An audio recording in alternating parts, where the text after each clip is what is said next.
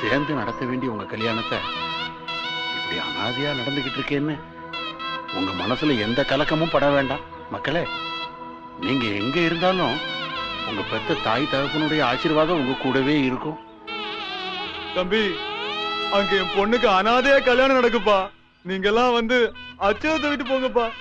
தம்பி தம்பி உன் காலை பிடிச்சி கெஞ்சி கேட்கப்பா நாலு பேர் வந்தாதான் அது கல்யாணம் கல்யாணமா இருக்கும்பா. பெரியவரே ஆத்துக்கு போங்க. உங்க மனைவி தேடிட்டு வருவா. நீங்களும் ஓடி வந்து தான் கல்யாணம் பண்ணுவீங்களா?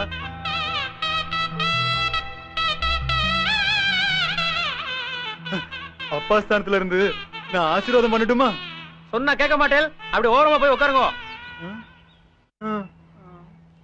நாலு வருஷத்துக்கு முன்னாடி இதே தேதியில தான் இவர் பொண்ணு இதே மாதிரி காதல் கல்யாணம் பண்ணிண்டா. அதுல மனசு உடைஞ்சு போனவர் தான் இப்படி புலம்பின்னு இருக்கார்.